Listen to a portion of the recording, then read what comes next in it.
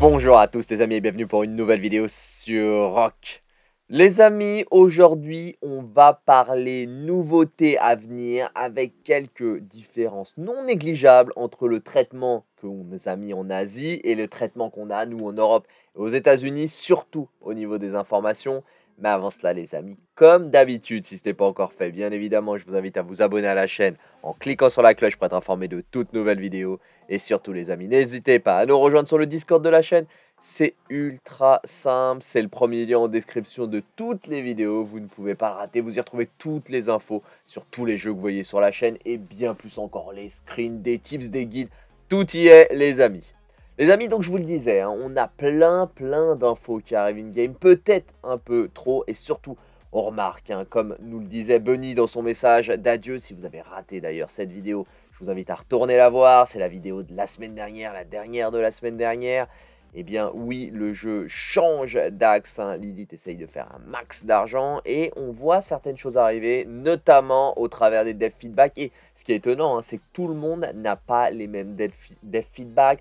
Les euh, Asiatiques ont des retours différents de nous en Europe. Et nous en France, on n'a même pas eu. Alors n'hésitez pas, si vous l'avez vu passer et que je me suis endormi, n'hésitez pas à me mettre en commentaire. Mais on n'a rien vu passer en France alors que euh, sur le client global, hein, ils ont eu l'info et c'est ce qu'on va voir tout de suite. Et après, on va s'attarder sur le retour qu'ont eu nos, amis coréens. Les Coréens ont vraiment d'autres infos. Donc commençons déjà par le retour sur le global qui est différent encore une fois du retour coréen. Certes, on a des infos, mais vraiment quelque chose d'un autre niveau.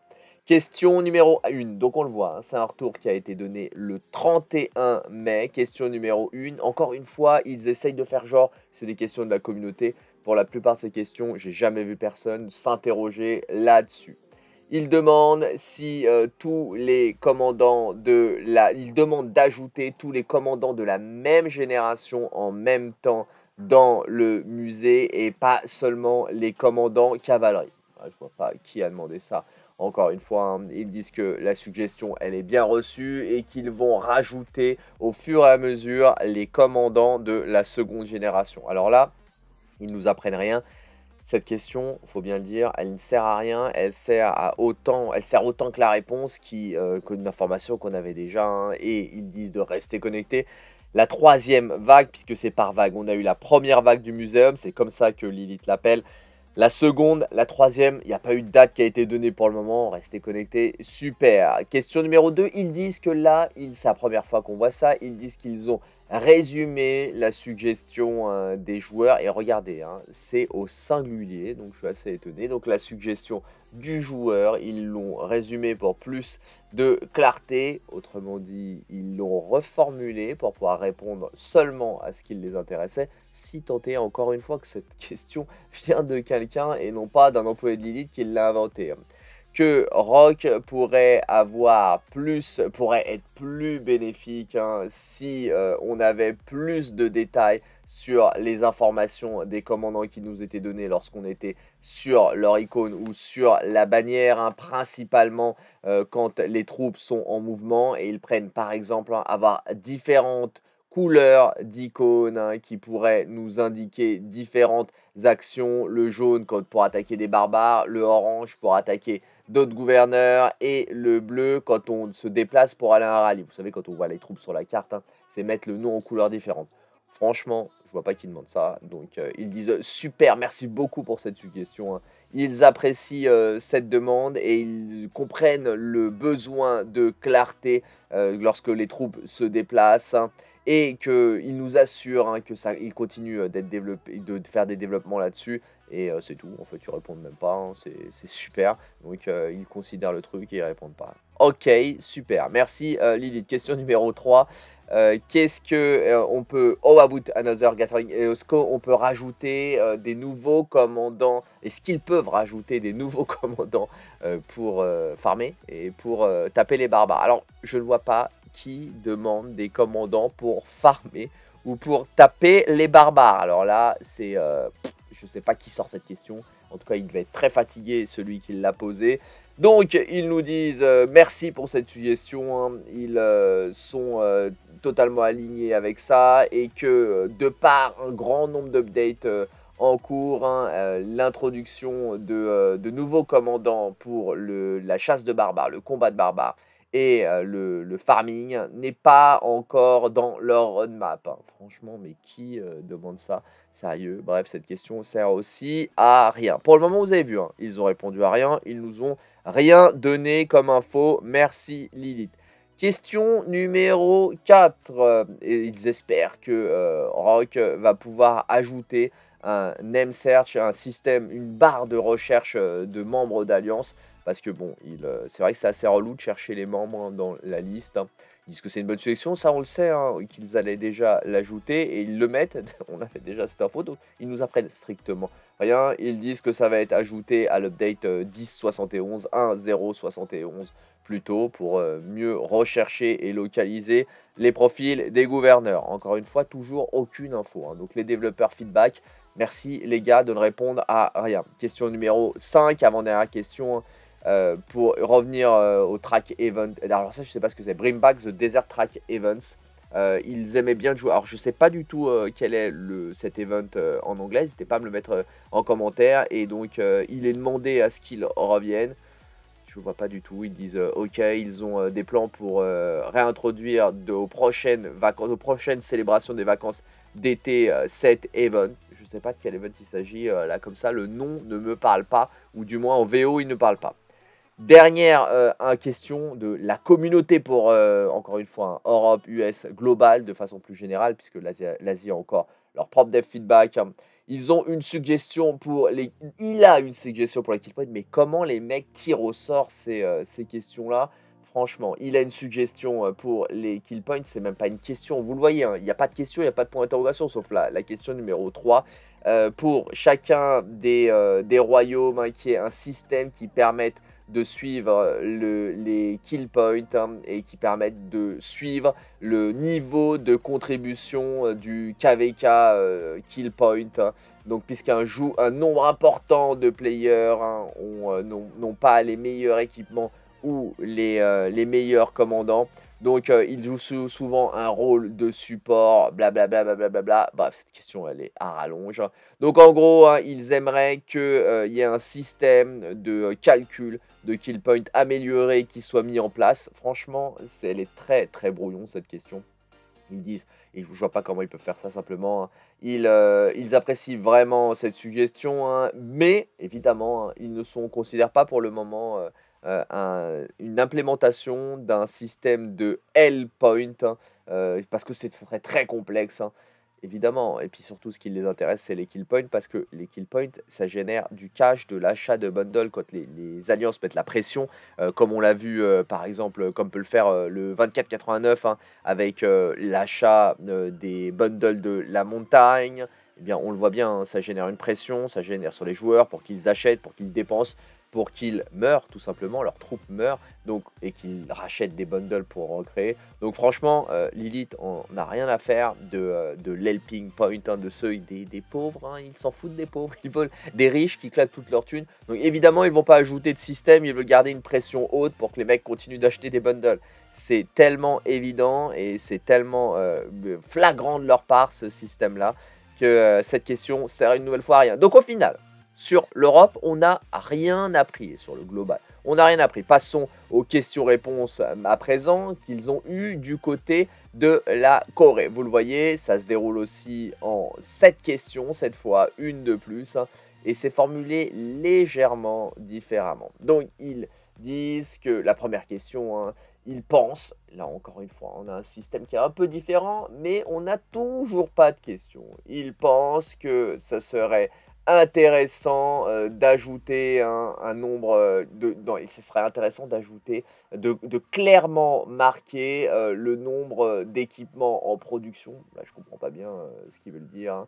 qu'il y a beaucoup trop de troubles à se rappeler et confirmer combien de fois ils ont fait quel équipement Donc je pense qu'il voudrait qu'on ait un indicateur sur le craft. C'est une traduction de la version coréenne, hein, donc c'est pour ça que la traduction est, approximative. Il pense que euh, ça serait bénéfique donc euh, qu'on ait euh, un nombre qui soit indiqué le nombre d'équipements qu'on a produits. Ils disent c'est super simple en plus à faire, donc forcément ils vont le dire qu'ils vont le faire à mon avis. Donc merci pour ce retour. Ils ont décidé d'optimiser ça dans une internal review hein, et qu'ils préparent une optimisation du euh, content sur euh, la création d'items. Donc on va avoir une mise à jour très probablement de la forme. Vous voyez, là, en une question, dès la première question, on a une réponse concrète à une question que personne n'a posée probablement, hein. mais on a un vrai élément de jeu qui va être rajouté, on le sait. Alors qu'on vient de se taper 6 questions sur le global et ça nous a rien appris sur l'avenir. Question, donc la Corée, déjà, ils ont un niveau de performance de réponse qui est beaucoup plus appréciable. Et la Chine, vous l'avez vu dans ma vidéo la semaine dernière, eux, ils ont du très concret. Question suivante, hein. ils aimeraient que je sois ajouté un système, un statement, un système, une, évaluation ou un flag, quelque chose, hein, sur le nombre de ressources euh, qui reviennent lorsqu'on détruit une construction. Euh, lorsqu'on annule plutôt une construction. Hein. donc super, hein. ils disent qu'ils prennent en compte euh, euh, ce, retour hein, et qu'ils vont l'avoir dans la revue interne exactement comme la question précédente. et que là ils vont juste y réfléchir, c'est tout ce qu'ils disent. donc ils vont préparer quelque chose en tout cas. Donc deux réponses plutôt positives à deux questions concrètes de demande in-game. Question numéro 3 à présent. Alors celle-là, elle est vraiment euh, chelou. Je ne vois pas qui, encore une fois, hein, sera allé poser. Enfin, c'est pas vraiment une question, hein, c'est une observation. Hein. Il dit, et encore une fois, c'est une traduction du coréen, donc c'est très très peu clair de mon point de vue. Ils disent tout simplement qu'après le prochain update, suite au prochain update, euh, le nombre de changements dans l'exhibition room que l'on peut obtenir dans la daily quest, là je comprends pas. Donc ça doit être le nombre de, euh, je sais pas, de récompenses qu'on peut obtenir hein, dans les quêtes journalières hein, vont être réduits. Vont, est-ce que ça va être possible d'acquérir ce contenu euh, ou dans, via un event plus tard ou les events plus tard? Vous voyez là, je comprends même pas. Encore une fois, n'hésitez pas, si vous captez mieux que moi, à me le mettre en commentaire. Mais la traduction du coréen me paraît vraiment approximative. Là, évidemment, Lilith, quand ils allètent du contenu, hein, ils n'ont pas pour ambition de nous le rajouter. Ils s'en tapent de ouf. Hein. Leur but, c'est encore une fois faire du cash et le système se tourne plus en plus vers un système enfin, vers une technique et des mises à jour pour faire du cash. Donc non, ils disent tout simplement, ils n'ont rien prévu. Hein. c'est la vie, c'est comme ça. Mais ils le prennent en considération, c'est super. Mais ils n'ont pas prévu de nous redonner ce qu'ils nous enlèvent. Question suivante, la 4, là, la Golden Country, je ne sais même pas de quoi il est question comme event. La difficulté de la Golden Country content, donc du contenu du, sûrement un event de Golden Country, hein, est plus haute que le reste des de contenu. Et cela prend plus de, time, de temps pour de time, de temps pour la finir. Alors c'est peut-être, euh, ouais, c'est le royaume doré, ah, ça doit être ça. C'est le royaume doré est devenu plus dur et donc ça prend plus de temps à le finir. Ouais, c'est ça, bien vu. Euh, est-ce qu'ils peuvent ajuster la difficulté du royaume doré? Ils disent merci euh, pour ce retour et qu'ils vont optimiser, ils vont bien optimiser hein, dans le futur, mais, mais ils ne donnent pas de date. Ils disent sera optimisé dans le futur. En gros, c'est une carotte, hein, faut pas rêver. Leur but, encore une fois, est qu'on ait le moins en moins de choses gratuites et le plus en plus de choses euh, de valeur payante.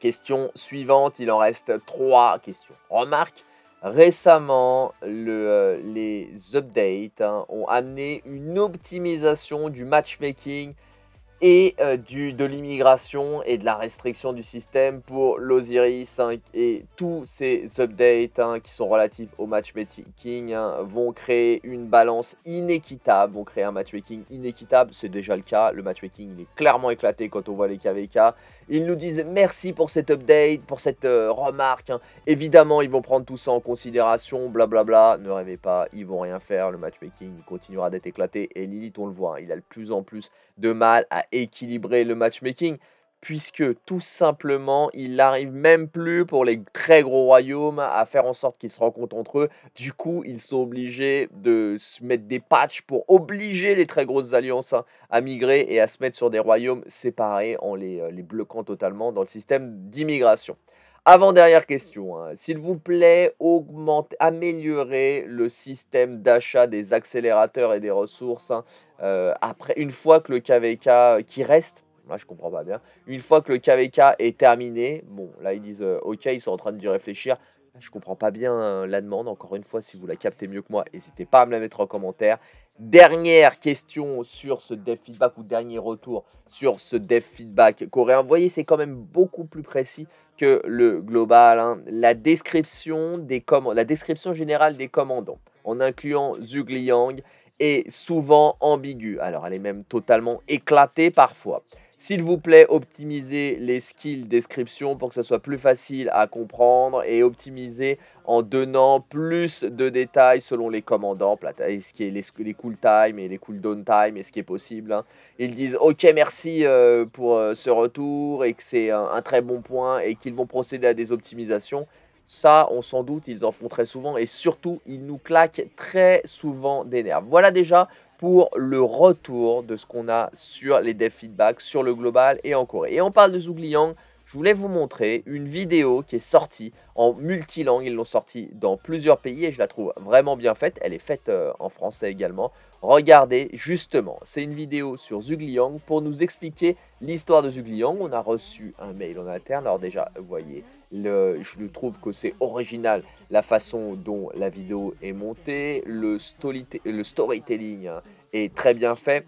Je trouve que c'est coréen par rapport à ce que Lilith nous dit toujours. Si vous avez suivi les différentes vidéos de Lilith hein, sur le développement du jeu, ce qui est important pour cette euh, entreprise, ce studio de dev, c'est vraiment de nous donner, et surtout euh, du côté de chez les goûts, c'est vraiment de nous donner du contenu historique et c'est ce qui, pour eux, crée une vraie valeur au jeu. De jouer avec des vrais commandants qui ont réellement existé et qui ont une vraie histoire.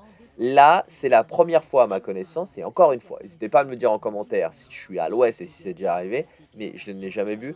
C'est la première fois que Lilith nous raconte réellement l'histoire d'un commandant, d'où il vient, de comment ils l'ont créé, etc. Donc là, je trouve ça vraiment super intéressant. En plus, il y a un effort de design, hein, parce que clairement, c'est les designers de Lilith hein, qu'on fait tout ça. Même le style de la vidéo, je trouve super intéressant. Le fait que ça a été fait en plusieurs langues, là, ils se sont donné euh, la peine de le faire en français. Pourtant, la France n'est pas leur plus grosse communauté, ça veut dire qu'ils l'ont fait dans toutes les langues. On a vraiment une histoire qui est claire, qui est cohérente et qui nous donne envie de jouer ce commandant. Alors, vous allez me dire, c'est marrant, ils sortent deux commandants, ils sortent Dido et Zugliang et ils le font que pour Zugliang. Alors je ne sais pas pourquoi juste Zugliang, est-ce que par la suite on va avoir Dido? Est-ce qu'il a fallu en choisir un des deux, sachant que sur le papier, Zugliang est quand même plus puissante, plus utile, si vous, plus utile, si vous devez en créer qu'un seul, c'est en monter qu'un seul entre Dido et Zugliang, évidemment il faut monter Zugliang, je vous ai montré tous les rapports, il est quand même énormissime, tant en rallye qu'en open field, hein, notamment avec Boadicé. Donc cette vidéo, elle est sur le Discord, pas le Discord, le YouTube, la chaîne YouTube France officielle. Vous pouvez la retrouver aussi sur toutes les chaînes de la communauté. On a reçu un mail in-game, il vous suffit d'aller voir vos mails système in-game et vous aurez directement un lien qui vous amène dessus. Encore une fois, elle est très bien faite, ça nous explique tous les skills. Là aussi, c'est super intéressant. Ça nous explique tous les skills traduits en français selon la vision et la compréhension de Lilith. Donc ça rejoint la dernière demande des Coréens, une demande qui est plus d'explications. Là franchement, une fois que vous avez écouté ce que font les skills, alors vous ne connaissez pas les performances, mais au moins vous savez exactement ce que font chacun des skills. Si on pouvait avoir des petites vidéos comme ça de Lilith directement sur chacun des commandants, franchement, il n'y aurait plus d'erreurs possibles dans l'interprétation. Voilà écoutez les amis, c'est tout pour cette vidéo. J'espère qu'elle vous aura plu et qu'elle vous sera utile. Si c'est le cas les amis, comme d'habitude, n'hésitez pas à lâcher un colossal pouce bleu. Vous le savez les amis, ça aide énormément le développement de la chaîne et surtout ça me fait vraiment très plaisir. Si ce n'est pas encore fait les amis, qu'attendez-vous? Qu'attendez-vous? Pour vous abonner à la chaîne en cliquant sur la cloche pour être informé de toutes nouvelles vidéos. Je vous souhaite un bon jeu à tous, prenez soin de vous, faites bien attention à vous les amis et je vous dis à plus sur Rock.